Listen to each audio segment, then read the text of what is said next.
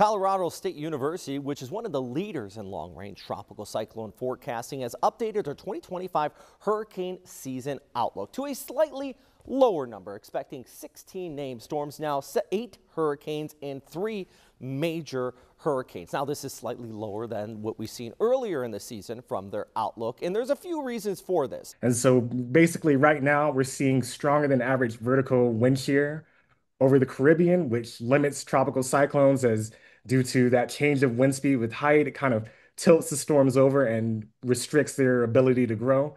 That's Chandler Jenkins. He's an environmental scientist with CSU. Now, he emphasized to not let the current changes mislead you.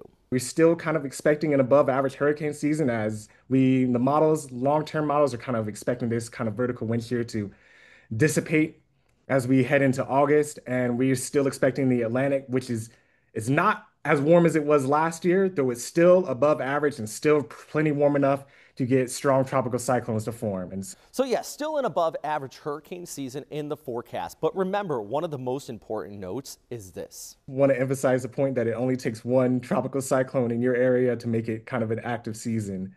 And so, always have a plan, kind of, especially if you're in tropical or areas that are prone to these tropical cyclones, and always kind of be ready and listen to the, the National Hurricane Center and your local authorities. We have more information on this and a look at the full interview at Hurricane Central on firstcoastnews.com. I'm meteorologist Robert Speta.